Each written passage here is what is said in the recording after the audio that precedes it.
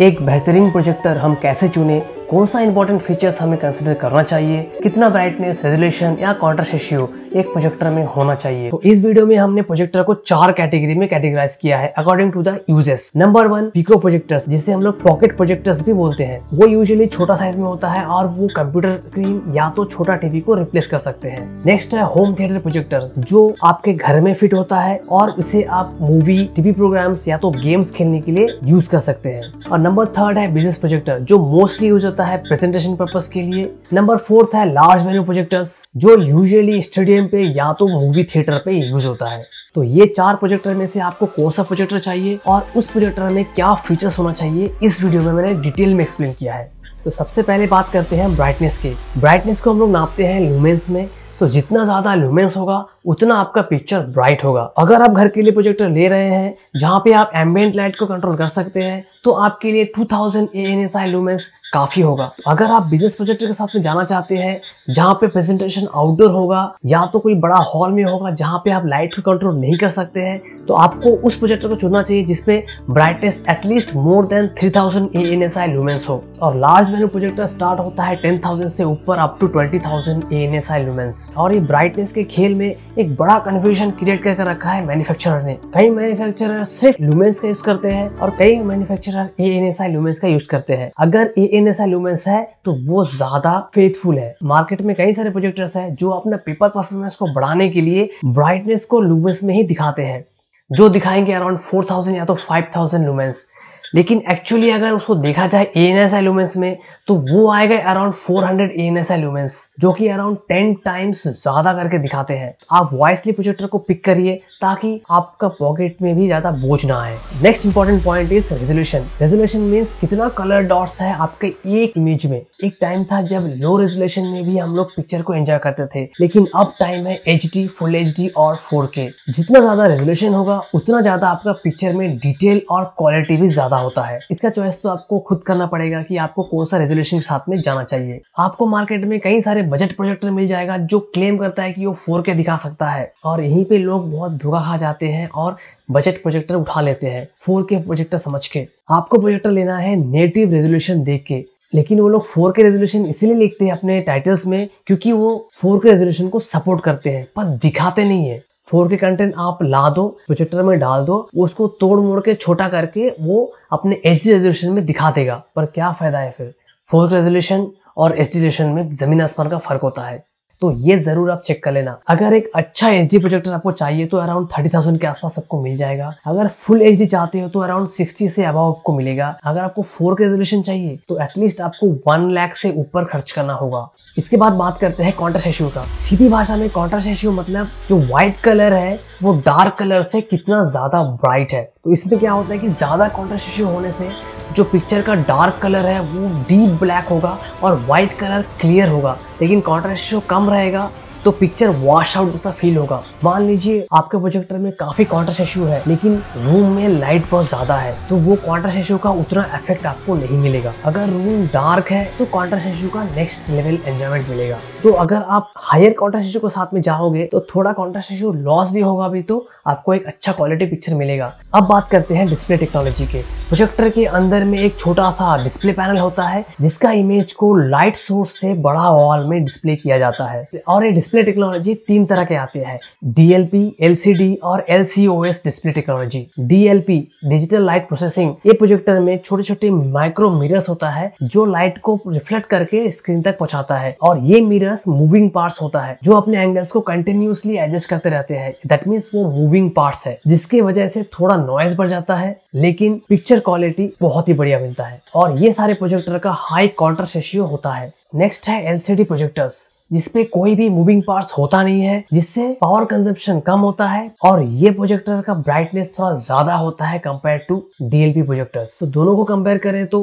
Picture quality DLP projectors का better होता है देन एलसीडी प्रोजेक्टर्स और थर्ड तरह के डिस्प्ले टेक्नोलॉजी है LCOS liquid crystal on silicon और ये डिस्प्ले टेक्नोलॉजी एकदम बेस्ट क्वालिटी प्रोड्यूस करता है और ये टेक्नोलॉजी डीएलपी और एलसीडी का कॉम्बिनेशन से बनता है। इसमें कोई मूविंग पार्ट्स होता नहीं है और वो बेहतरीन पिक्चर क्वालिटी प्रोड्यूस करता है। अगर आपके बजट थोड़ा ऊपर है तो आप डीएलपी के साथ में जा सकते हैं और उससे थोड़ा ऊपर है तो आप एलसीओएस के साथ में जा सकते हैं। नेक्स्ट बात करते हैं प्रोजेक्टर लैम्प की। प्रोजेक्टर लैम्प चार तरह के आते हैं। Metal halide lamp LED lamp laser technology और हाइब्रिड टेक्नोलॉजी मोस्टली जो एवरेज प्रोजेक्टर्स होते हैं, उस पर मेटल हेलाइट लैम्प आता है, जिसका लैम्प लाइफ कंपनी क्लेम करता है around ten thousand to fifteen thousand के आसपास। और ये लैम्प का पिक्चर क्वालिटी बहुत ही बढ़िया आता है हाई कॉन्ट्रास्ट इश्यू के साथ में। दूसरा होता है एलईडी लैम्प जिसे हम लोग बोलते हैं ऑलमोस्ट मेंटेनेंस फ्री इसका लैम्प लाइफ कई कई कंपनी क्लेम करता है around fifty thousand hours per ये कंपेरेटिवली कम ब्राइट होता है और कॉन्ट्रास्ट इश्यू भी कम होता है। और ये सारे एलईडी प्रोजेक्टर्स को आप दिन भर चला सकते हैं, क्योंकि इसका लैम्प लाइफ बहुत ज़्यादा है और ये बहुत कम पावर कंज्यूम करता है।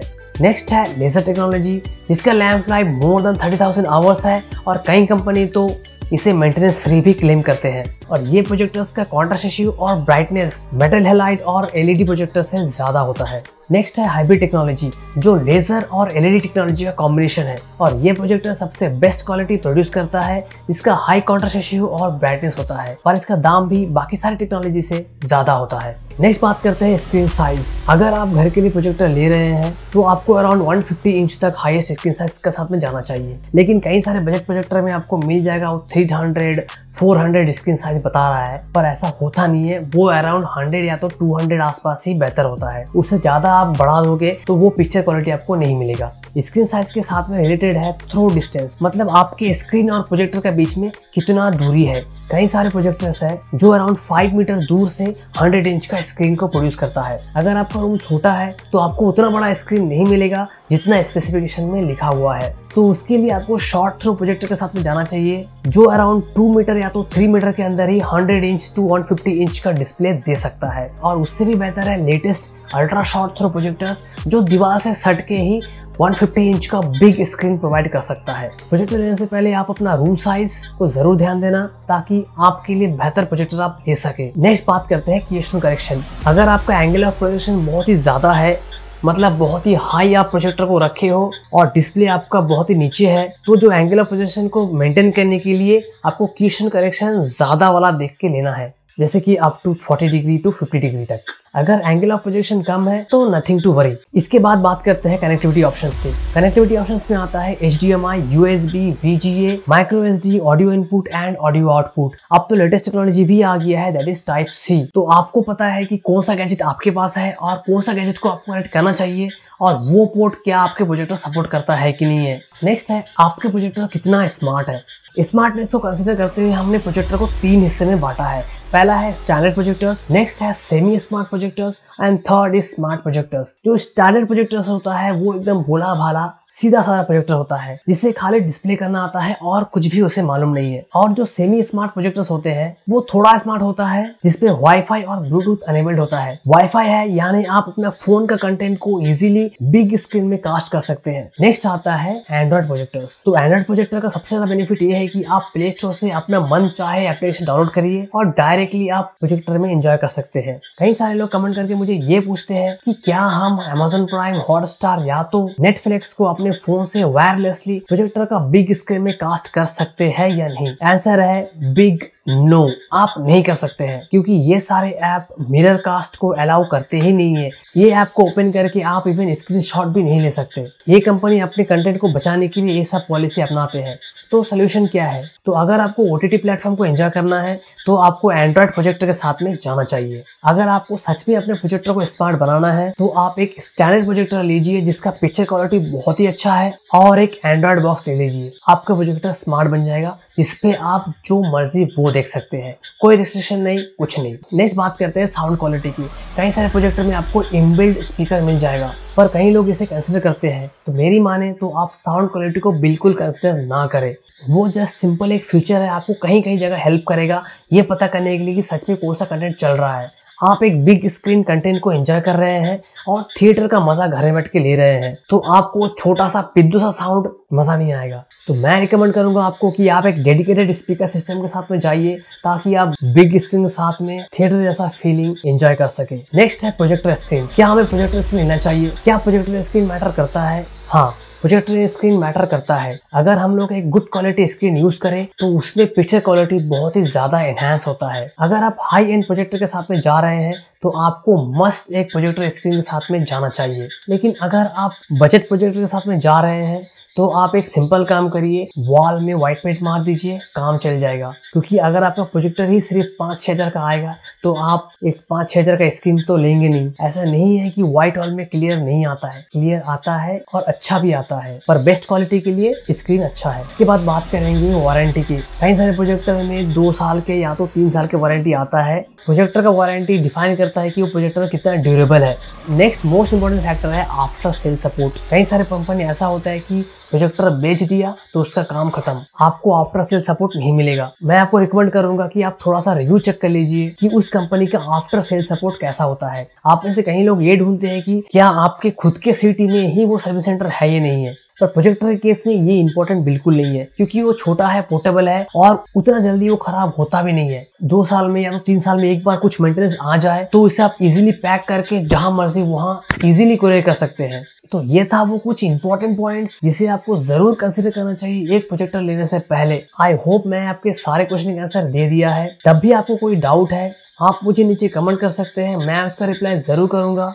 हमने कैटेगरी वाइज कुछ बेहतरीन प्रोजेक्टर को डिस्क्रिप्शन में दिया है, आप चाहे तो वहाँ से भी प्रोजेक्टर चुन सकते हैं।